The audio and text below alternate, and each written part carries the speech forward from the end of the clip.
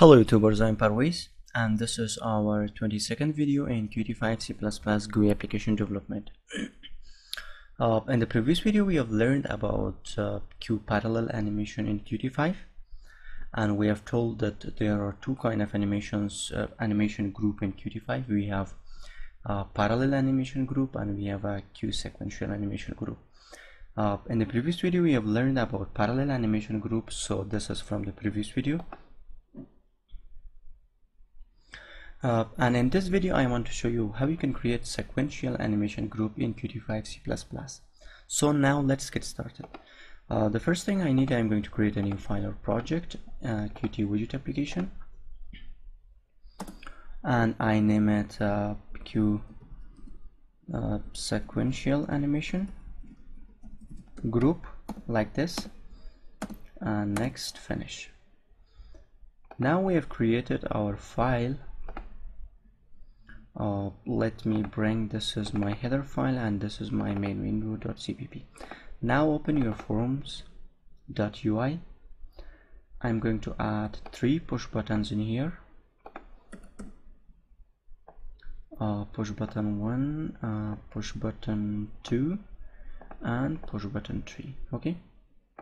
Now the object name you can see push button 3 underscore 3 push button 2 and also push button now open your header file and in here we need to add a QPropertyAnimation.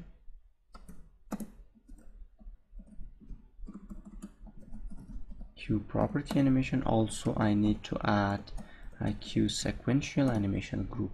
So now in here I'm going to cre uh, create uh, three animations QPropertyAnimation for my three push button. Uh, animation 1 QPropertyAnimation.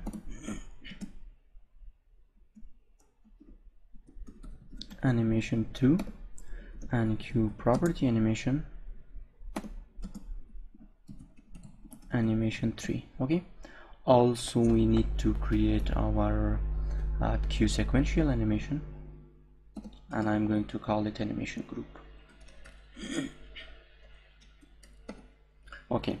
Now open your main window.cpp and in the constructor we need to create our animations.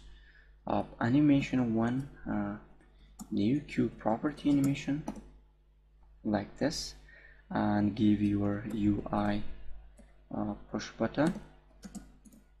And uh, let me just uh, uh, copy this for, from my because I have already do this so I don't want to write this and I'm going to open my uh, parallel animation main window.cpp okay? Just I'm going to uh, copy this like this and paste it in my here. Like this okay? Uh, you can see that we have uh, uh, created our animation and for our first push button and also we have set the duration to 3000 millisecond it is in millisecond uh, we have set the start value to our push button geometry and also we have set the end value to uh, QRect so now I'm going to just copy this and create my two more animations.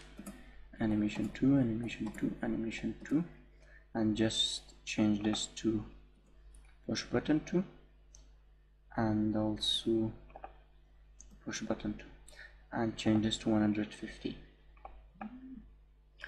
also create another animation call it animation 3 animation 3 animation 3 animation 3 and just change this to 3 and 3 we need uh, change this to 250 okay? Now we have created our three animation. It is time to create our sequential animation group. So animation group uh, new uh, queue sequential animation group. Now we need to add our these animation to our animation group. Animation group add animation our animation 1 and also animation group add animation animation 2 animation group add animation animation 3 okay? Now we need to start our animation group. Uh, animation group and start. Now let me run this. You will see that we will have a sequential animation group for our these three buttons. Now it's going to it's going to run and it will take some time. We are waiting for this. Now build is completed and oh, it's in here. Let me just run it again. Okay now the first button. Now the second button. And now the third button. So thank you guys. If you have any question please let me know and for the further videos don't forget subscription of my channel and also like the videos